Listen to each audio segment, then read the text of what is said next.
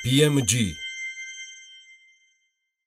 ევროკავშირის საქართველოს ბიზნეს საბჭოს ინიციატივით პოლონეთის საელჩოში საქართველოსში პოლონეთის ელჩი მარიანუშ მაშიკევიჩი ბიზნეს სექტორის წარმომადგენლებს შეხვდა რა საკითხებზე გააკეთა აქცენტი ამას ჩვენი რეპორტიორის ელენე ჩომახიძის სიუჟეტიდან გაიგებთ საქართველოსა და პოლონეთს შორის ეკონომიკური ურთიერთობების პოტენციალსა და აღნიშნული ურთიერთობების გაღრმავების საშუალებებზე იყო დღევანდელ შეხვედრაზე საუბარი. სავაჭრო ბრუნვა პოლონეთსა და საქართველოს შორის ელჩის თქმით გასულ წელს 150 მილიონ ევროს შეადგენდა, რაც მისივე განმარტებით საკმარისი არ არის, რადგან ორივე ქვეყნის პოტენციალი გაცილებით მეტია.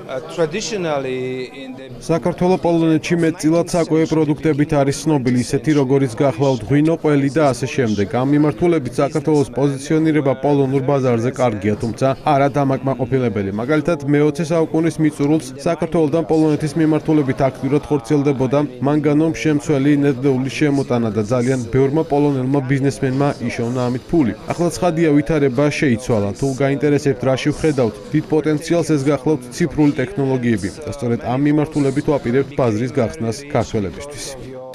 რომელ სექტორებზე გააკეთებს აქცენტს პოლონეთის საელჩო და მეორე მხრივ საქართველოს კერძო სექტორი. ეს შეკითხვა დაისვა დღეს შეხვედრაზე. როგორც ევროკავშირის საქართველოს ბიზნეს საბჭოს გენერალურმა მდივანმა ზვიად ჭუმბურიძემ აღნიშნა, ორმხრივი თანამშრომლობისთვის მეტნაკლებად რელევანტური სექტორები ჯერ კიდევ ზაფხულში ვარშავაში ჩატარებულ ფორუმზე გამოიკვეთა. პირველ რიგში აუცილებლად ტურიზმი, ასევე აუცილებლად ეს არის სოფლის მეურნეობის პროდუქცია, იმიტომ რომ პოლონეთს აქვს უდიდესი გამოცდილება ამ მიმართულებით და ჩვენ გვჭირდება სწორედ პოლონელი პარტნიორების მხარდაჭერა და თანადგომა, ასევე ინვესტირება საქართველოში. ასევე აუცილებელი არის ეს არის წარმოება, ვინაიდან პოლონეთი, როგორც აღნიშნე, არის ერთ-ერთი წამყვანი ევროპული ქვეყანა, სადაც წარმოება, მე ვფიქრობ, რომ სუბუქი მრეწველობა არის უმაღლეს დონეზე და მესამე ეს არის სოფლის მეურნეობას ეხება, რა თქმა უნდა, ისე, მაგრამ ცალკე გამოყოფდი ღვინის სექტორი. დღევანდელ შეხვედრას ესწრებოდა საკონსულტაციო კომპანია IBCCS-ის რეგიონული დირექტორიც,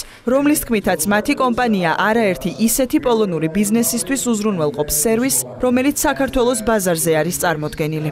სტატისტიკის მიხედვით დღეს დღეს არსებული სტატისტიკის მიხედვით ძალიან ბევრი აგროპროდუქტი, რძის პროდუქტი და ხორცი შემოდის პოლონეთიდან და საქართველოს ძირითადად ასევე სოფლის პროდუქტი და ღვინით არის წარმოდგენილი, თუმცა პოტენციალი, რომელსაც ინვესტორებთან განვიხილავთ, ჩვენ არის უდიდესი მომსახურების მხრივ.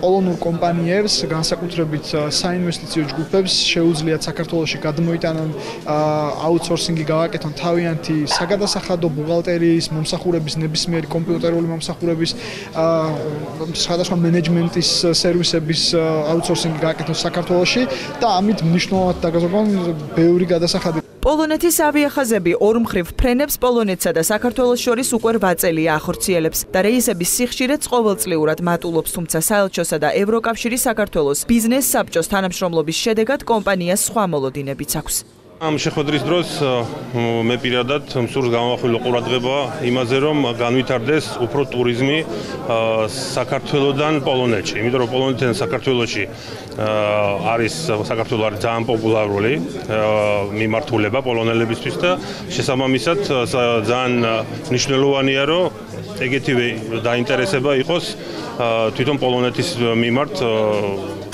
საქართველოში. დღევანდელ შეხვედრაზე აღინიშნა, რომ სხვილი ინვესტიციების განხორციელებისთვის ჯერჯერობით ნიადაგი მყიფეა, თუმცა ორივე მხარის ინტენსიური კომუნიკაციითა და საინტერესო პროექტების შეთავაზებით ასეთი ინვესტიციების მოზიდვა მომავალში რეალური გახდება.